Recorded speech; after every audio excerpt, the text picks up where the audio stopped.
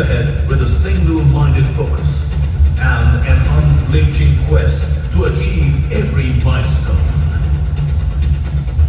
With raw courage and unmatched resilience,